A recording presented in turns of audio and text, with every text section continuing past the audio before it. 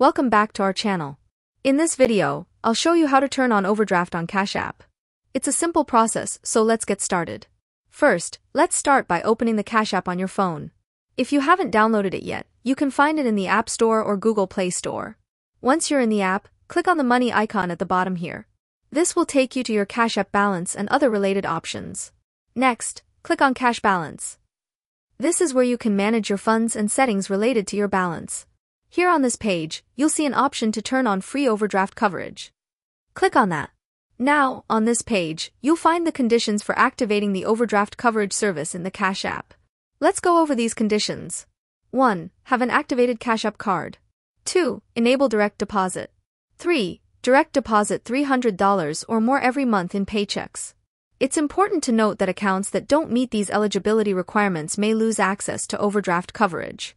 Sponsored accounts for teens are also not eligible for overdraft coverage. Additionally, ATM transactions and ACH transfers are not covered by free overdraft coverage.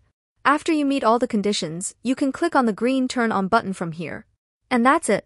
You've successfully turned on overdraft coverage on your Cash App. If you found this video helpful, please give it a thumbs up and don't forget to subscribe to our channel for more useful tips and tutorials. Thanks for watching, and see you in the next video.